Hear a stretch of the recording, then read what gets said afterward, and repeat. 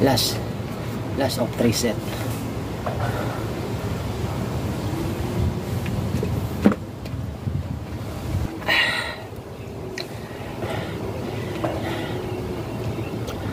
Three weeks before I came back to work out again.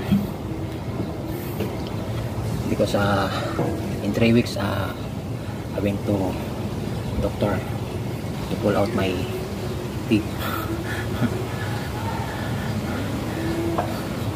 So now I'm okay. Trying to be strong again. Alright. Last. Number three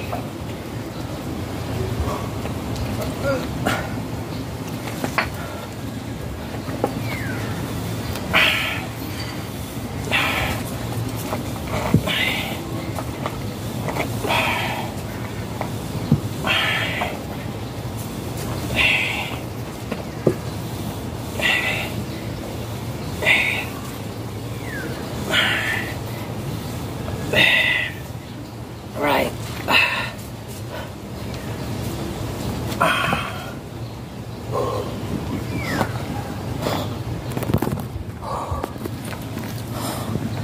I hope you subscribe to my channel. Good Play channel. Thank you guys for watching.